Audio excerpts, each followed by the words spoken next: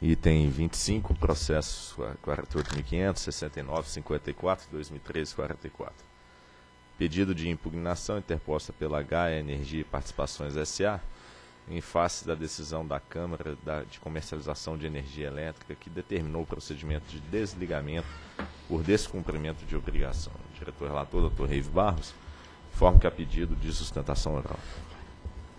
Em 3 de junho de 2013, a Câmara de Comercialização de Energia Elétrica encaminhou ao agente Gaia Energia e Participações SA a notificação número 237 de 2013, informando sobre o início de procedimento de desligamento da CCE em virtude do descumprimento de obrigação relativa ao aporte de garantias financeiras em 22 de maio de 2013.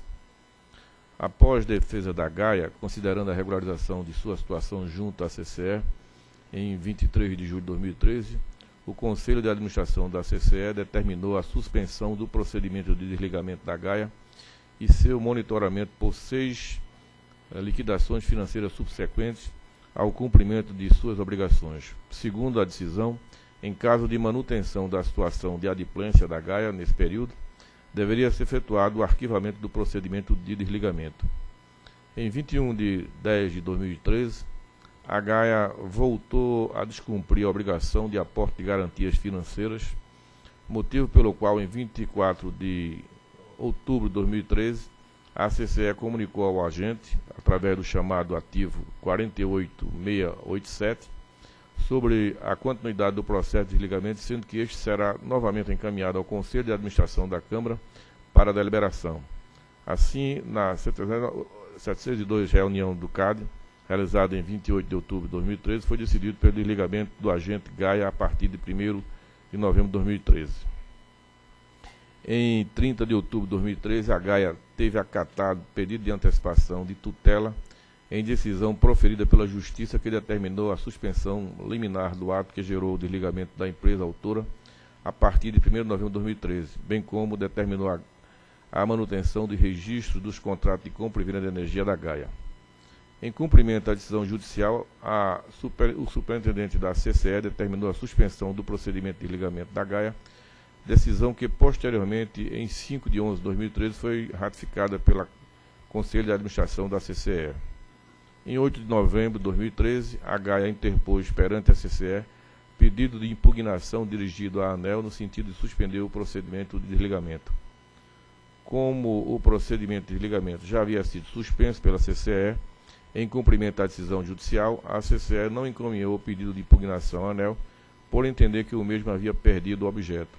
Essa decisão, juntamente com a explicação das providências adotadas pela CCE no processo, foi comunicada à Gaia por meio da carta CCE 2989-2013, de 11 de novembro de 2013. Em 25 de novembro de 2013, a Gaia apresentou petição à ANEL contendo o pedido de impugnação à conduta da CCE que havia determinado o desligamento do agente.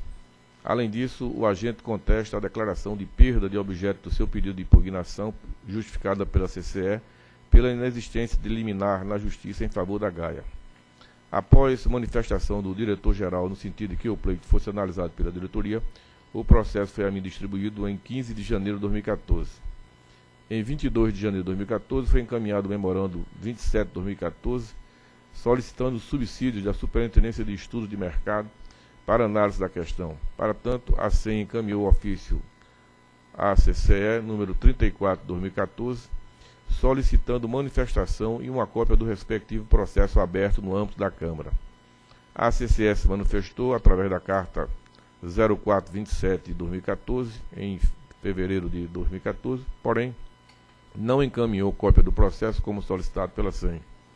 Em sua manifestação, a Câmara explicou que os procedimentos adotados, reforçando que entendeu corretas as suas decisões de desligamento do agente e de não reconhecimento do pedido de impugnação.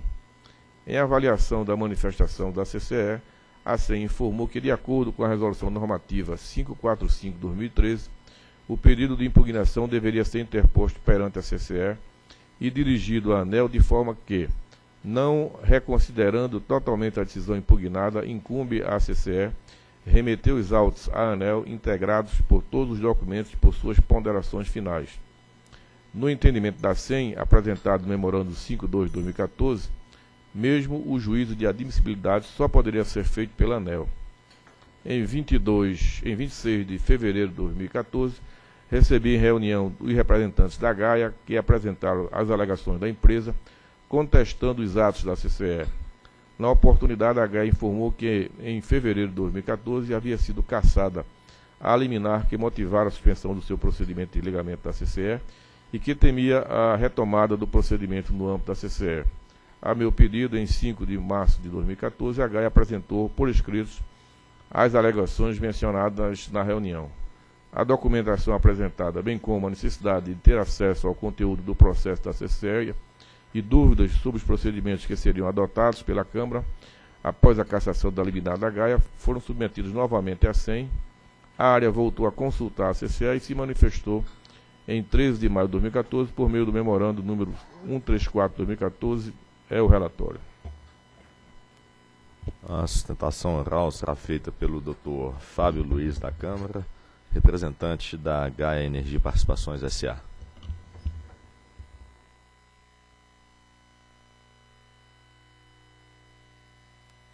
Doutor Fábio, é só apertar o botão. Alô? Alô? Pronto, agora acertamos. Boa tarde, bom dia, senhores diretores, componentes da mesa. A questão da Gaia. A Gaia hoje é uma empresa que detém apenas geração, o ativo da usina de Guarapuava, uma UTE de 12 megawatts, pequena, e que por questões de projeto e que tem inclusive gerado necessidade de muitos investimentos na usina, está com um rendimento pequeno. É, a necessidade de investimento e, e, o rendimento pequeno da usina gerou uma, problemas, alguns problemas financeiros de mobilização de, de recursos.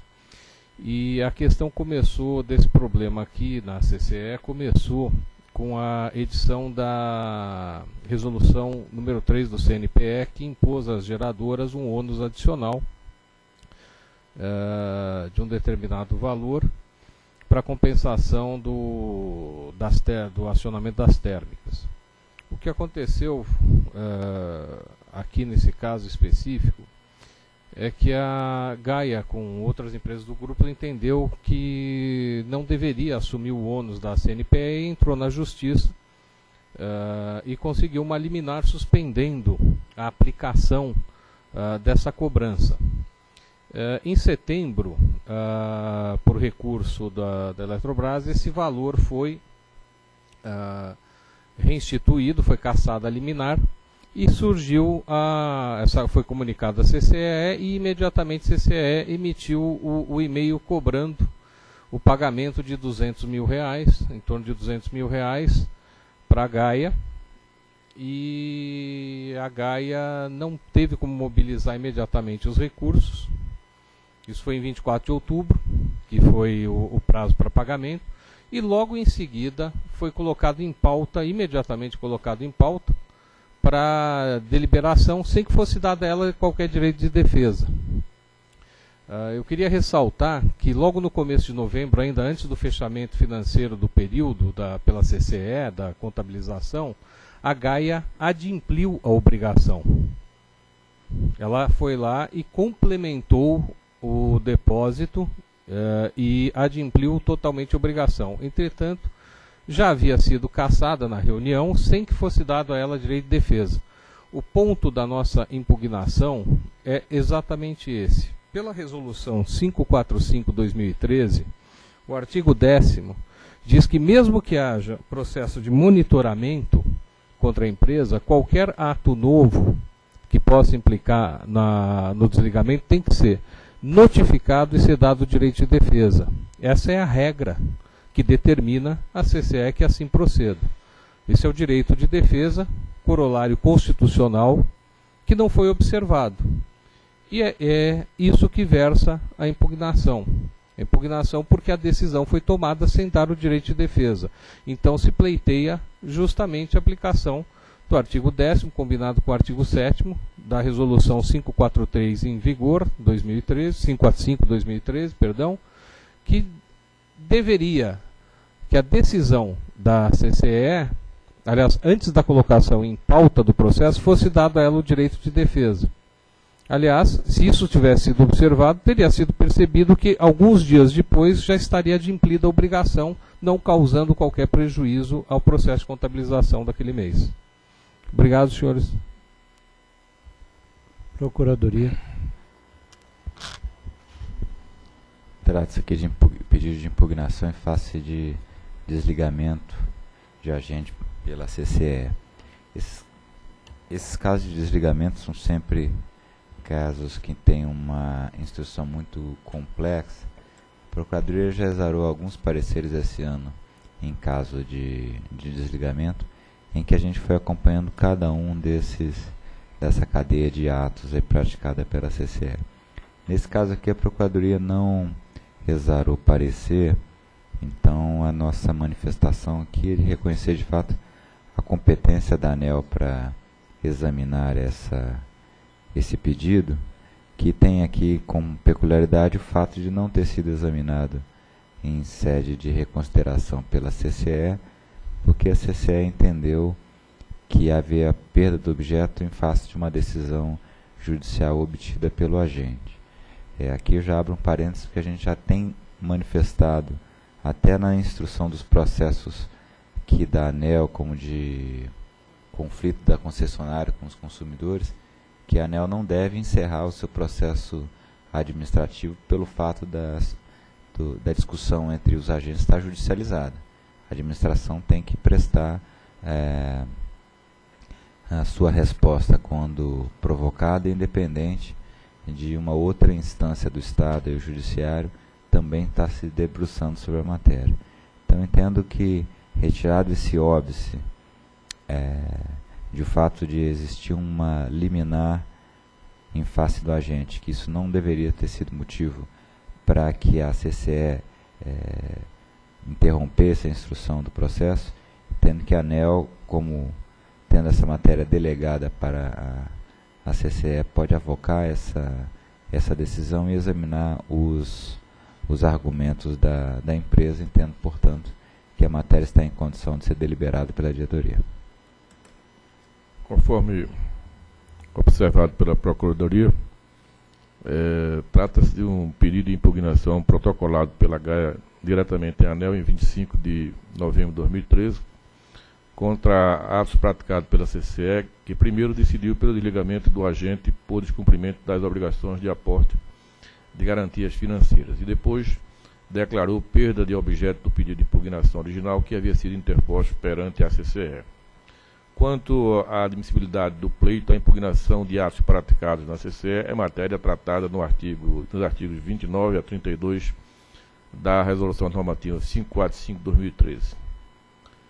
O requerimento ora em análise não segue o rito previsto no artigo 29, uma vez que é interposto diretamente à ANEL em 25 de 2013 e não à CCE. Todavia, o pleito pode ser recepcionado como uma reclamação à ANEL nos termos do artigo 31 da referida norma.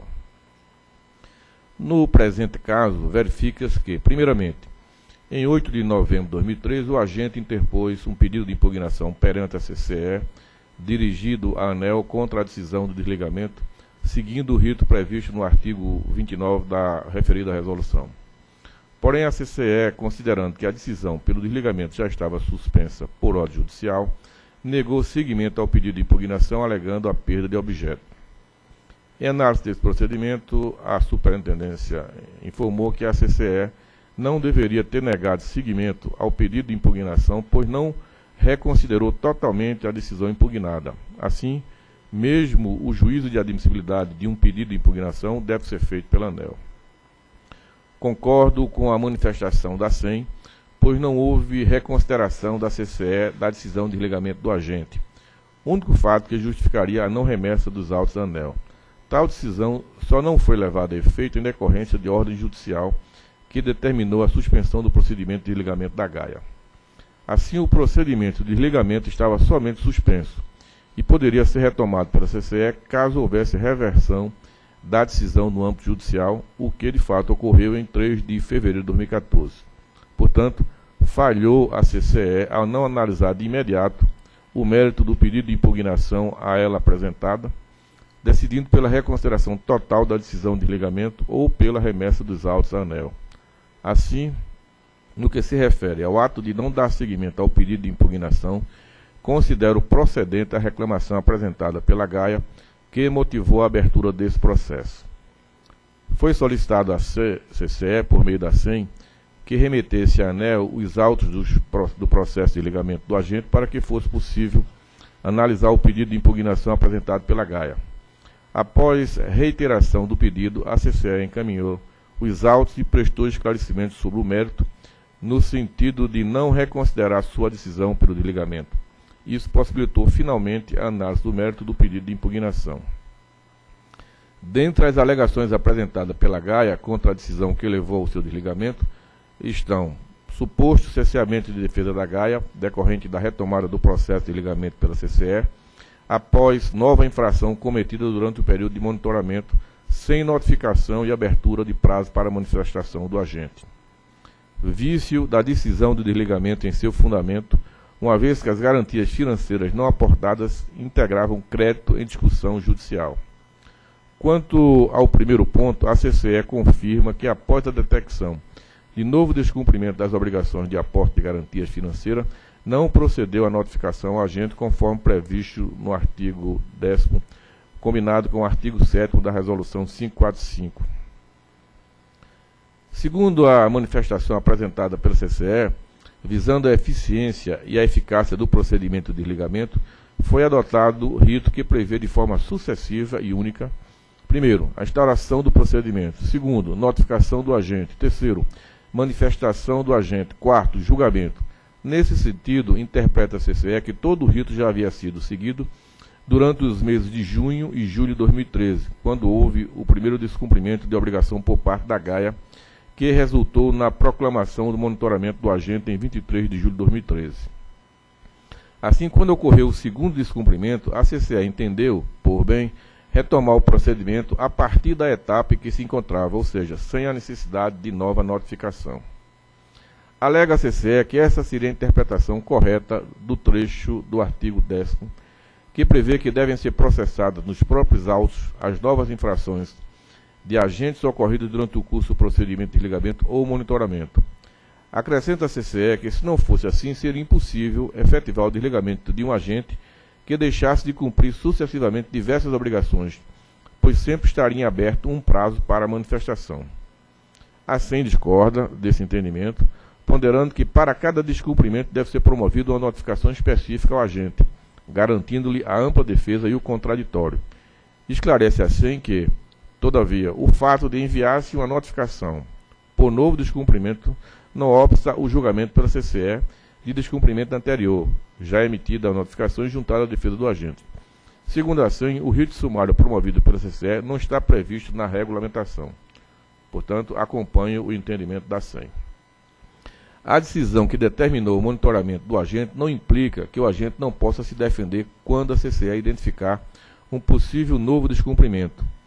Na forma que procedeu a CCE, identificando um descumprimento em 21 de outubro de 2013, e determinando seu desligamento em 28 de 10 de 2013, sem oferecer à Gaia a possibilidade de apresentar alegações sobre esse segundo descumprimento, ocorreu o verdadeiro rito sumário na linha do que alega a Gaia. Na prática, dois fatos justificaram a decisão pelo desligamento da Gaia. O descumprimento de obrigações de aporte de garantias financeiras em maio de 2013, que ensejou o monitoramento, e outra infração similar em período inferior a seis liquidações ocorrido em outubro de 2013. Para o primeiro descumprimento, o agente havia apresentado defesa, para o segundo, não, o que torna ilegal a decisão tomada. Saliento que não se verifica a inviabilidade procedimental para a efetivação do desligamento de agentes arguída pela CCE. No caso em tela, se a CCE houvesse possibilitado e aguardado a manifestação da Gaia quanto ao segundo descumprimento, mesmo que fosse necessário abrir prazo para manifestação sobre possíveis novos descumprimentos, o desligamento poderia ser efetivado sem aguardar o término de tais prazos, pois somente os dois primeiros descumprimentos já seriam suficientes para tanto. Assim ficou caracterizado o cesseamento de defesa decorrente do procedimento adotado pela CCE, o que confere procedência ao pedido de impugnação apresentado pela Gaia.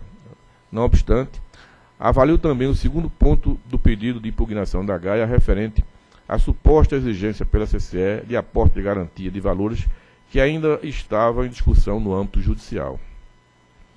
Em seu pedido de impugnação, a Gaia pondera que o valor de R$ 212.721,54, para o qual não foram aportadas garantias financeiras, refere-se à somatória de créditos resultantes da aplicação dos artigos 2 e 3 da Resolução 0, CNPE 03-2013, que estava sob discussão judicial. Ocorre que a existência de discussão judicial de valores não eximia por si só a Gaia de honrar seus compromissos junto à CCE, a menos que existisse medida cautelar concedida em favor do agente nesse sentido. A aplicação dos dispositivos da Resolução CNPE 03-2013 para a Gaia, origem do valor em discussão, chegou a ser suspensa cautelarmente por decisão judicial em junho de 2013. Contudo, acatando agravo interposto pela União Federal em setembro de 2013, a Justiça revogou a liminar concedida em favor da Gaia. No dia 21 de outubro de 2013, mesma data em que deveria aportar as garantias financeiras necessárias, a Gaia interpôs mandato de segurança com pedido de liminar no Tribunal Regional Federal, primeira região, e em 30 de outubro de 2013, sem resposta ao mandato de segurança interposto, e quando a CCE já havia decidido pelo seu desligamento, a GAI apresentou novo pedido de antecipação de tutela na Justiça, o qual foi deferido na mesma data, motivando a suspensão do desligamento pela CCE. Portanto, verifica-se que na data em que era exigível o aporte de garantias financeiras, não existia decisão em vigor no âmbito administrativo ou judicial que isentasse a GAIA de fazer o aporte devido, o que caracteriza o descumprimento das obrigações por parte do agente. Apesar disso, considerando as falhas procedimentais da CCE e o longo tempo transcorrido, não entendo pertinente nesse momento referendar a decisão pelo desligamento do agente. Lembro que, ainda que com atraso, o agente efetivou o aporte dos valores devidos em novembro de 2013, quando a decisão pelo desligamento já estava suspensa. Conforme informação recebida pela SEM em julho de 2014, Atualmente, o agente Gaia está adimplente com o cumprimento de suas obrigações. Nesse sentido, entendo pertinente determinar que a CCE mantenha aberto o procedimento de desligamento, retomando provisoriamente o monitoramento da Gaia nos termos do inciso 1 do artigo 2 da Resolução 545, por mais seis liquidações financeiras contadas a partir da publicação da presente decisão. Caso não se verifique novo descumprimento por parte da Gaia nesse período, o procedimento de desligamento poderá ser extinto nos termos do artigo 9 da referida norma. Se ocorrer, o procedimento deverá ser tomado observando o princípio da ampla defesa ao agente. Por fim, é, a respeito das falhas de interpretação da CCE quanto ao conteúdo da norma, entendo que, em virtude da norma ser recente à época do ocorrido, além de se tratar de um caso com especificidades, são suficientes as recomendações e orientações que foram prestadas pela SEM por meio do ofício 321 de 2014, de maio de 2014, não havendo necessidade, nesta oportunidade, de determinar a abertura de processo administrativo punitivo. Diante do exposto e do que consta no processo 48.500.00.6954-2013, 44, voto por conhecer o pedido de impugnação apresentado pela Gaia Energia e Participações S.A., em face da decisão da Câmara de Comercialização de Energia Elétrica, que determinou seu desligamento do quadro associa associativo a partir de 1 de novembro de 2013, para, no mérito, dar-lhe provimento parcial, no sentido de determinar a CCE quem mantém aberto o procedimento de desligamento 237-2013, retomando provisoriamente o monitoramento do agente Gaia, nos termos do inciso 1 do artigo 2 da Resolução 545, por mais seis liquidações financeiras contadas a partir da publicação pres da presente decisão, é o voto. Em discussão. Em votação. Eu voto com o relator. Também acompanho o relator. Também voto com o relator e proclamo que a diretoria decidiu por conhecer pedido de impugnação apresentado pela Gaia Energia e Participações S.A. em face da decisão da CCE, que determinou seu desligamento do quadro associativo a partir de 1 de novembro de 2013 para, no mérito, dar-lhe provimento parcial, no sentido de determinar a CCE que mantenha aberto o procedimento de desligamento, no 237-2013, retomando provisoriamente o monitoramento do agente Gaia nos termos do inciso 1 do artigo 12 da Resolução Normativa 545-2013, por mais seis liquidações financeiras, contada a partir da publicação da presente decisão. Próximo item.